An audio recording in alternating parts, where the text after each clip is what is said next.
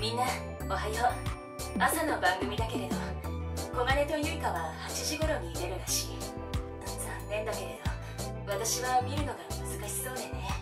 もう少し出発まで余裕があれば。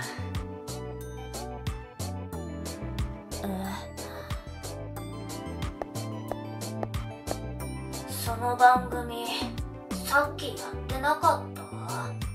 小金と光峰が。便利グッズ紹介してたやつ？ああ違う。ごめん。夢。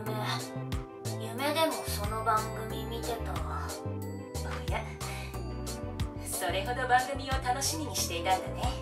ええ小金が昨日はすごいアピールしてきたからでしょう。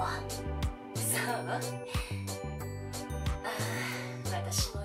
られたらよかった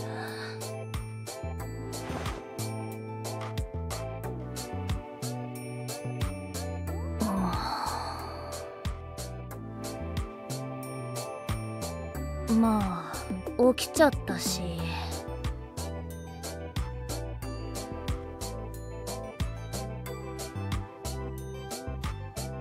リアタイしますか。